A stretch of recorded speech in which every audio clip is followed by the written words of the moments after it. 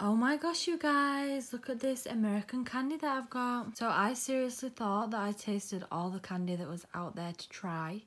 Little did I know I'd only tasted all the like British candy. But today we've got American candy, Reese's, Frankencup, Nerds Rope, Hostess Danish, Mrs. Freshley's Pecan Twirls, and then we've got a Laffy Taffy grape flavour.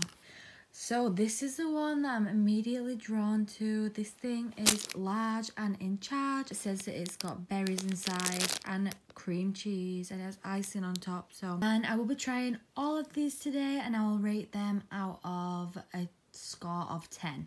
So let's try it. Okay, so, so far, I don't like the dough. Wait, is this out of date? Where's the freaking date on it? Why does it taste out of date? What is going on? So I don't like the dough type thing. What's going on? It tastes like poisonous so far. And it's like too moist. That was just like the pastry still. So there's like berry in here. Let me see if I can taste this. Okay, so the berry taste, you know, it's giving it a little bit of hope, but I don't know. I don't know if I just got a bad one or what, but the bread seriously tastes like out of date to me. I didn't even like swallow this. I just picked it up. I give it like a 1 out of 10 because the the berry inside wasn't that bad. No bueno. Okay, we did not get off to a good start. I really need something sweet to like cleanse my palate. Let's try a Laffy Taffy and hope that it's better. So this is what it looked like when it opens it. Let's give it a try.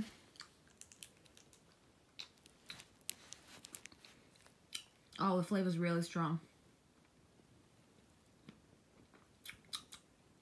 Oh, wow. I'm not used to all these flavors. Like, it is really different from English flavors, I would say. It kind of tastes like air freshener.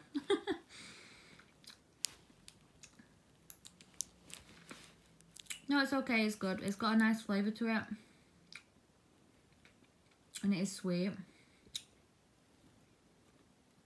I don't know. It is like quite easy to chew. I thought that was going to be better than like the stuff we have in the UK, like Maoams and stuff, but I would say that it's not. So I give that like, like a 4 out of 10. And if I'm tasting your like favourite candy guys and I'm saying it's not good, I'm so sorry. Like this is just my opinion, what I'm used to and stuff. It doesn't mean it's bad. I'm really drawn towards these uh, Reese's Frankencup. They look so cool. They remind me of like Halloween. So yeah, let's open them and see what's inside. It says that they're king size. Let's see if we get a big one. Okay, okay, so this is what you get when it's opened up. It just looks like brown from the top, like a regular peanut butter cup. But let's see. Oh, there the green is. I'm guessing the green is why they call it a Franken cup because Frankenstein's like green.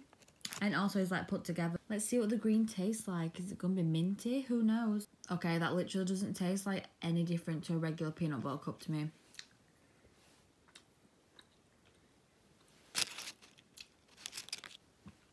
Am I missing something? Like, what's going on? I mean, it's good, but it literally tastes the exact same. Is this just meant to look cool and not be any different? I don't know. I mean, I love peanut butter cups. I would give them like a 10. And it just tastes good, but I'll give it like a 7 out of 10 because I'm kind of disappointed because I was expecting something crazy, something different. so 7 out of 10 are the Franken cups. I've tried like cinnamon twirls like fresh out of stores and stuff before but I've never had one in a package. And there's two here so let's see how it goes. Oh my gosh I can smell it already. Yo that like Mr. Freshley's thing traumatized me so bad. Like I'm just so paranoid this is going to be like stale bread too. Oh my god. What is actually... Eh. No. Y'all, what is actually going on? This literally... What is going on? I think I might not buy from the place that I bought it from ever again. Because um, this tastes gone off too. Like, what is going on? That's the inside, y'all. I literally can't even eat it. So I'm not even going to rate this because, like, literally, I don't think it's, like, the product's fault. Like, it tastes gone off. No, no. I don't know what's going on, but I'm having no part of it, okay? In the bin. Please, Nerds Rope, give me something nice to try. You're my final hope. Oh my gosh, you guys, that looks so cute. It's like such bright colours, like really blue. Okay, let's give this a go. Oh my gosh, it's sour. So it's got like jelly in the middle, like a chewy sweetie, and then it's covered in like little rocks that are crunchy. So I'm not mad at this. If I was really in the mood for something like sweet, I feel like this would totally satisfy like your craving because it's like crunchy and sweet and just this is really good definitely my favorite thing that i've tried today so cute the Nerds rope was a success but yeah guys that's all the candy i've got to try today um i'll definitely be back with another video on American Candy. Give this a thumbs up if you enjoyed it and subscribe to my channel for more videos to keep updated. I'll see you guys soon. Bye. Hey you guys, so it's me from the future. I'll film in this video. So basically just a quick update on the candy haul. I ended up getting in contact with like the supplier that I bought the candy from.